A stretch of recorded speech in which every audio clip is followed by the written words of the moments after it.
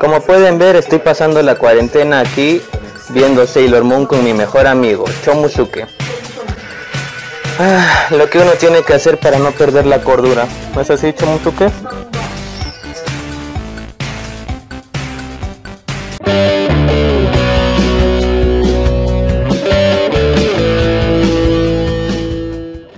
Durante años, el género de supervivencia en el anime no me daba más que decepción tras decepción. Bitum era una buena opción pero su duración le jugó en contra, así como el protagonista y su desarrollo. Osama Game prometió mucho y no dio absolutamente nada más que un insípido final. Mirai Nikki fue el primer anime que vi a voluntad y me gustó hasta que desarrollé el criterio personal. Empecé a odiar a Yukiteru y todo lo que vi en Mirai Nikki. Entonces, ¿qué podía esperar de Darwin's Game? Pues en teoría es como los tres anteriores, pero desde ya les aviso que hay algo especial en este anime.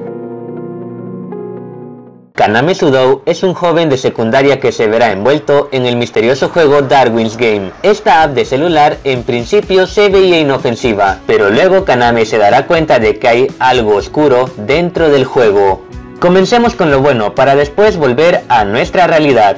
El anime fue hecho por un viejo conocido del canal, Nexus. Y si no lo recuerdan, pues les advierto que esta empresa fue responsable de darnos Granbern, aquel hermoso anime que ya critiqué y que encontrarán en las tarjetas de la parte superior derecha. Esto me tranquilizó, ya que Nexus hizo un trabajo soberbio con Granbell. Darwin's Game no sería la excepción. Desde su inicio, el anime ya nos develaba todo lo que nos esperaría en futuros episodios, su rumbo, su desarrollo, todo. El anime sigue el mismo rumbo de títulos como Mirai Nikki, Bitum y Osama Game. Chico conoce el juego, lo subestima y ahora forma parte de algo que lo acosará hasta el final, a menos claro que sobreviva. Hasta aquí ya tenemos una idea del anime, pero es el desarrollo lo que llamó mi atención. Darwin's Game tomó elementos de los animes que mencioné al principio y les pudo dar forma y su propia esencia, tanto en anime como manga. La yandere de Mirai Nikki, los atributos especiales de Bitum y las reglas de juego de Usama Game. A cada elemento el anime le da su esencia. Shuka no es tan loca como Yuno, los atributos especiales no son necesariamente armas y las reglas de juego no son tan estrictas como en Usama Game, aunque ambas mantienen a una mente maestra y a diferencia de Usama Game, esta mente maestra desde los inicios se convirtió en el villano a vencer. Los demás antagonistas son pasajeros pero nada olvidables. Cada uno tiene su desarrollo y motivaciones, lo que lleva a decir que en este anime todos los personajes tienen al menos algo que los hace destacar, por más pequeño que parezcan. La química entre los personajes principales se siente fluida, por momentos hay comedia, pero lo más importante es que el anime aprovecha sus 11 episodios. Una prueba de esto es el cambio de personalidad de Kaname, rompe con el estigma del prota llorón y dubitativo en este género de supervivencia. El apartado técnico es algo flojito. En Granbell, Nexus nos dio un apartado visual único, un estilo de dibujo entrañable, musicalización decente y opening y ending muy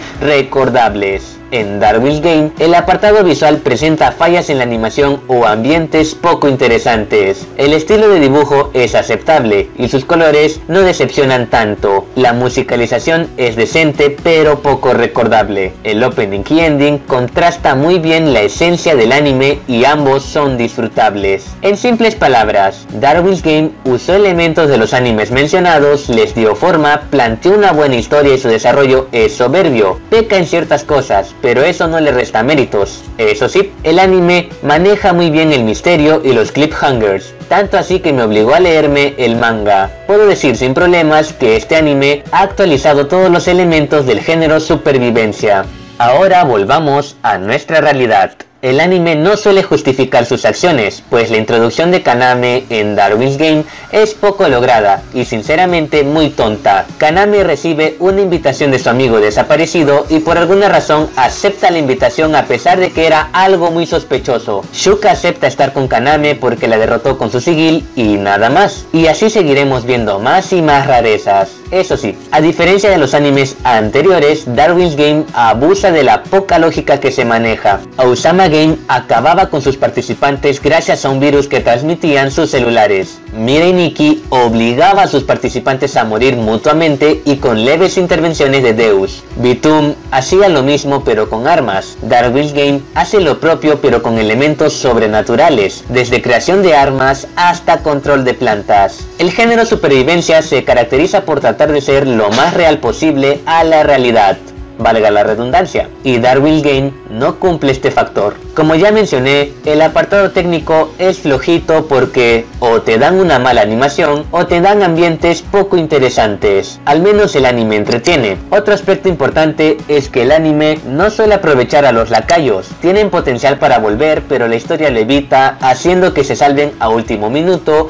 o que mueran junto al protagonista de turno. Mencionaría otros elementos como el juego en sí o el uso de los sigils, pero estos en el manga son considerablemente aprovechados y profundizados. Sin embargo, algo que no me gustó es el final. La escena post créditos del capítulo final no era necesaria, estaba de más. Y sí, damas y caballeros, he descubierto el síndrome de Usama Game. Hay un anime con un final, por así decirlo, espléndido y cerrado, pero sin embargo, una escena post créditos arruina el final. Este anime con el soberbio final que tuvo era suficiente para animar a la gente a leer el manga, nada más. La escena post crédito solo sirvió para restar, si es que sacan una segunda temporada, elementos importantes o interesantes del manga. Y por cierto, el anime cambió un poco la narrativa vista en el manga. No lo suficiente como para decir que van a malograr su esencia, pero tampoco lo suficiente como para decir que corregirá los errores del manga. No es un dato que perjudica el anime, pero había que mencionarlo. En síntesis, Darwin's Game es un anime de supervivencia muy actualizado, usa elementos de otros títulos y los moldea a su gusto. No tiene nada que envidiar a los animes de la temporada en la que salió. Tiene fallas, quizá más garrafales que sus antecesores, pero al menos este anime no cayó como ellos. No te decepcionas de él como en Mirai Nikki, el final te deja considerablemente satisfecho y su historia tiene más dirección que la de Usama Game. Esto hace que Darwin's Game tenga una calificación de 7. No es lo suficientemente alta como para considerarla una obra maestra, pero supera y con creces a Mireniki y Osama Game. Abitum lo supera por muy poco, a pesar de que tienen la misma nota, pero es el final del anime lo que marca la diferencia. Bueno amigos, eso fue todo por esta ocasión. Ahora continuemos con las reglas. Pero antes, déjenme mencionarles que en estos días habrán videos de críticas en el canal, dado a que ya estamos culminando con la primera temporada de anime. De vez en cuando habrán videos especiales. Ahora sí, vayamos con las reglas. Si el video les gustó, dejen su like, compártanlo y suscríbanse al canal. Activen la campana de notificación para no perderse de mis últimos videos. Síganme por las redes sociales. Facebook, Twitter e Instagram son las redes predilectas. Este fue su amigo el Sam quien les dice nos vemos. Hasta la próxima.